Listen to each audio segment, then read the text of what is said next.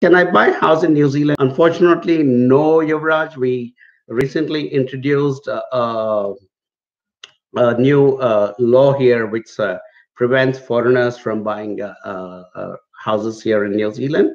But hey, look, if you're coming to New Zealand through AJV, and if your whole family is being you know processed through AJV, come here. You know, once you come to New Zealand, you can talk to me. I have I'm a quite a senior business professional here in New Zealand, and if you have the money to buy a house, we can look at some other opportunities and options. Perhaps you could uh, you know become an investor into some organization which buys like we can all kinds of possibilities can be worked out. So do get in touch with us and i would really really like you Yuvraj to come to new zealand through us